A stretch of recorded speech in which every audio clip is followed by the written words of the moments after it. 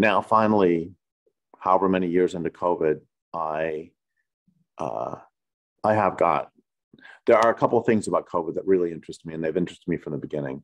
And uh, the the first one is, as I've said before, I was uh, I started following COVID about a week or two after the shutdown of Wuhan, when they had to close a Hyundai factory in Korea because of Wuhan closing, you know, a thousand miles away.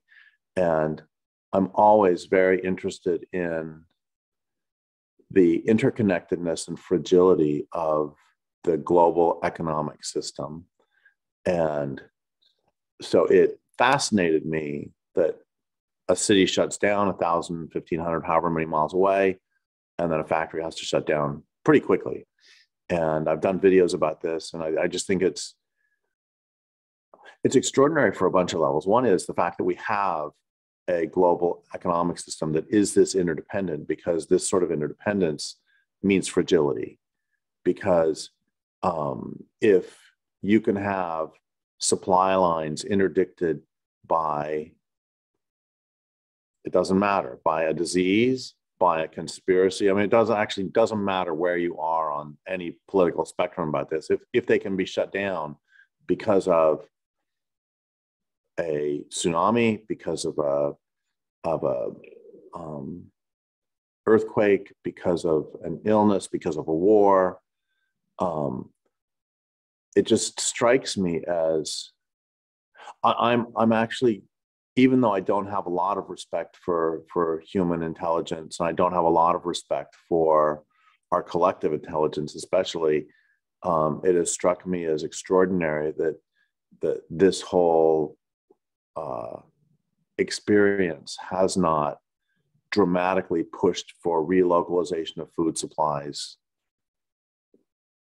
much.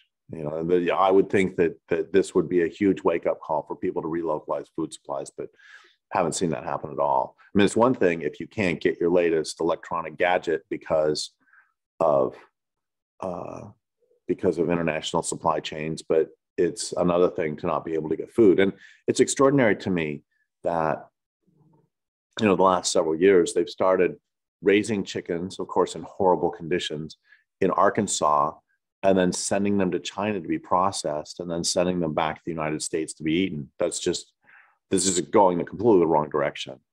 And this is this is what's happening. So it's it's one thing that that's that, that about the whole COVID experience that that I've been very fascinated by is uh, is that just how much it has revealed how incredibly both interdependent and fragile the global economic system is. And I think people who know my work can guess why, one of the main reasons I am so excited about ways that reveal the uh, fragility of the global economic system.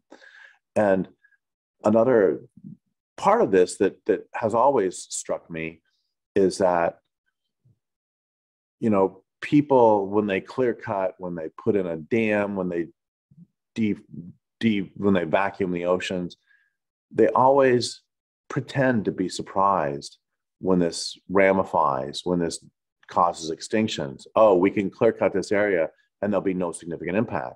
But it reveals that they're lying because they understand interconnectedness extremely well when they understand the interconnectedness of the global economic system, when they understand how an earthquake or a fire in Japan can lead to an increase in timber prices in the Pacific Northwest because they're rebuilding using wood from here. They understand this interconnectedness.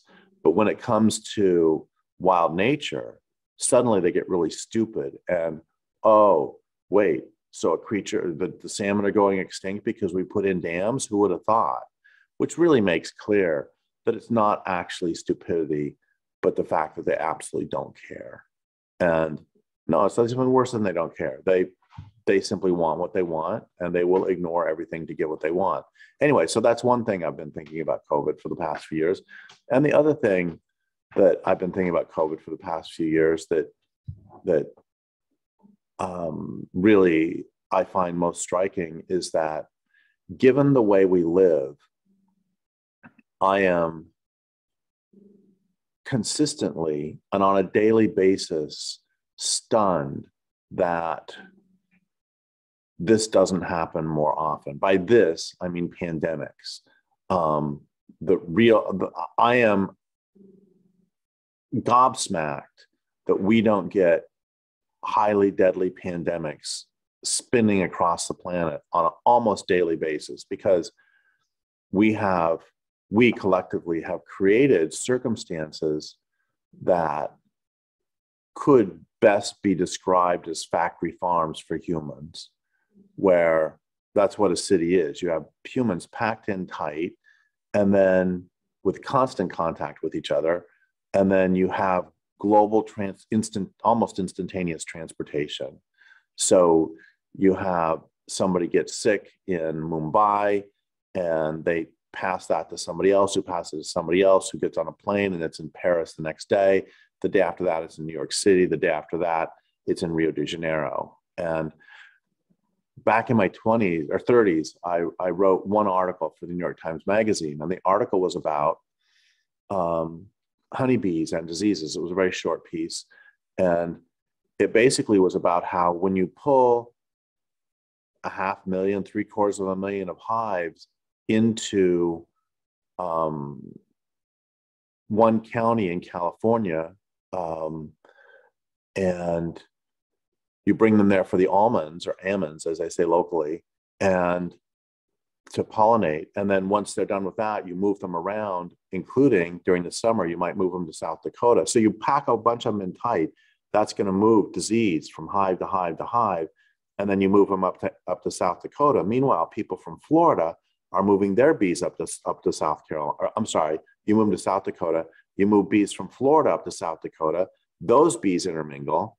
And then that next year, you move those bees back down to Florida. You have taken the disease all the way across the country in less than a year.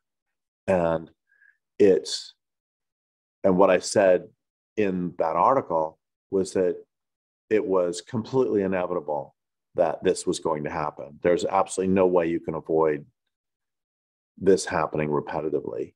And it's the same with, with, with this when you have people packed in tight and this transportation. And I understand that modern sanitation is holding these at bay. I understand that antibiotics hold some at bay, but um, it is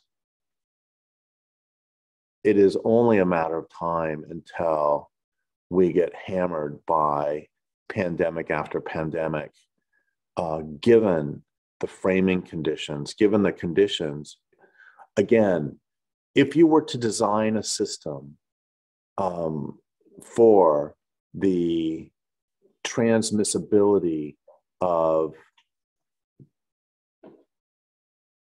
highly infectious diseases, you could not design a better system for that transmissibility than the one we've got.